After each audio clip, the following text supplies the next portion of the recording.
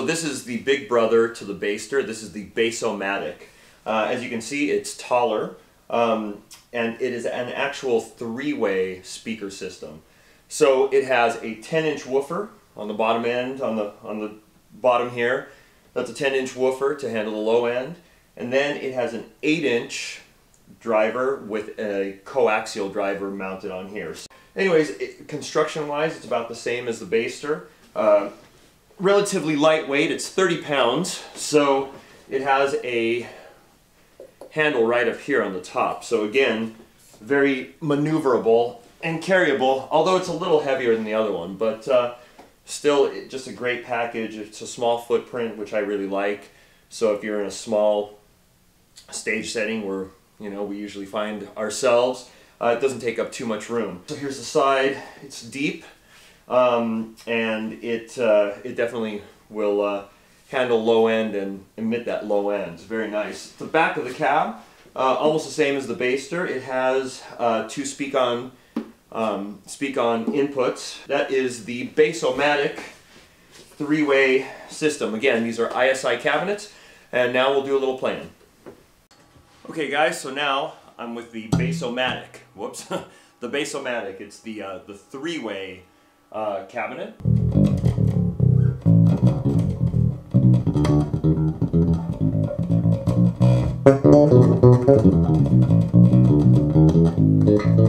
So it's very nice and uh, it's a very full sound.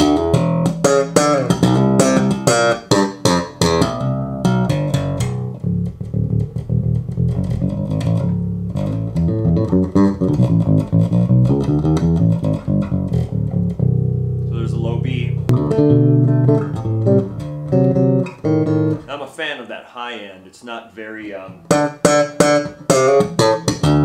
doesn't sound very clacky, uh, very musical.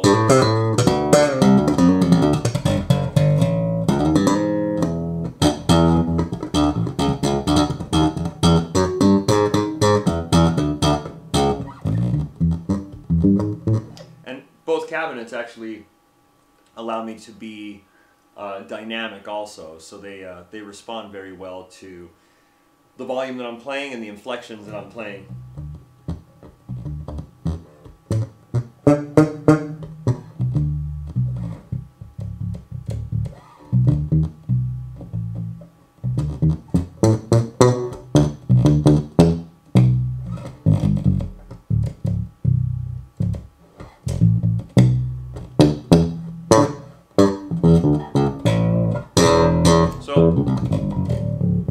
So for very small cabinets, they definitely um, pack some volume and tone. Very great tone.